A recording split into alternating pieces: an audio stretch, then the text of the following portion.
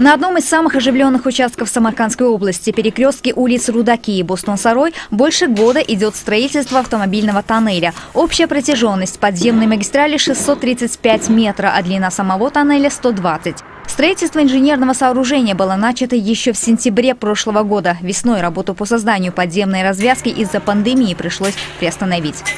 В целях улучшения э, движения автомобильного транспорта, а также улучшения инфраструктуры города, э, постановлением президента, а также Кабинета министров, было принято решение строительства нового э, путепровода тоннельного типа. Данный путепровод э, был проектирован унитарным предприятием Купры Кулышлойха, а также Институтом Гипростроймоз.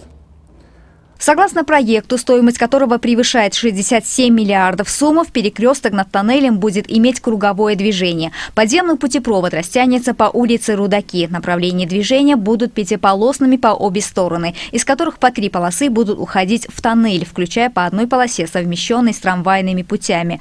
Для пешеходов по улице Бостон-Сарой построят подземные переходы длиной 40, глубиной 3 и шириной 6 метров. Строительные работы ведутся трестом Купры Курылеш компании «Узбекистан Темирюлларе».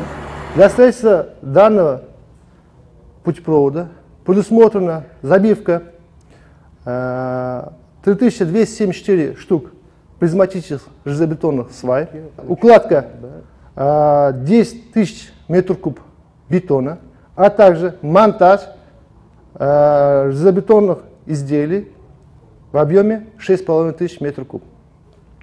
Кроме этого, предусмотрено э, монтаж э, железобетонных балок длиной 28 метров в количестве 62 штук.